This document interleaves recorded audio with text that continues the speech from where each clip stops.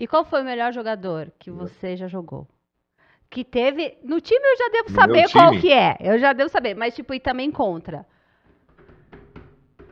Ah, assim, do meu time, obviamente, acho que é o Tim Duncan, né? Que ele faz parte dessa Aham. história aí de 20 anos de Spurs no, no topo do, do basquete mundial. Adversário, cara. ah, assim, eu não joguei contra o Jordan, mas foi- eu joguei contra o LeBron e Jordan? Kobe. Você já viu o Jordan? Já vi o Jordan. Passei assim no corredor, tava me coçando pra tirar uma foto com ele, mas não,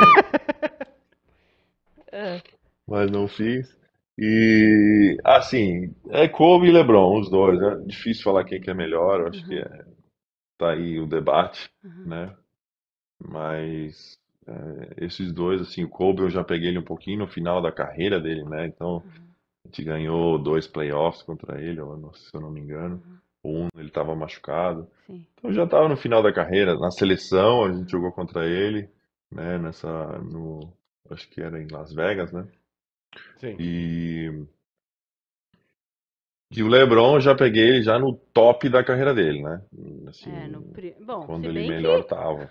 Ah, jogando em Miami. É. As duas finais lá, É, e quando ele estava em. Miami, eram os melhores anos da carreira dele, né? A idade, assim, e a ma- madurez, né? Uhum. Melhor impossível. E obviamente a gente perdeu uma final para ele e ganhou outra final dele. Então Uhum. tenho esse, esse orgulho, né? De verdade, é pegar uma verdade. final de um dos melhores da história. E eu sou fã dele, cara. Eu sou fã. O cara realmente é um, é um animal, velho. Um robô. O cara é impressionante o que ele faz, o que ele continua fazendo, com a idade que ele tem. E tirar o chapéu pro cara.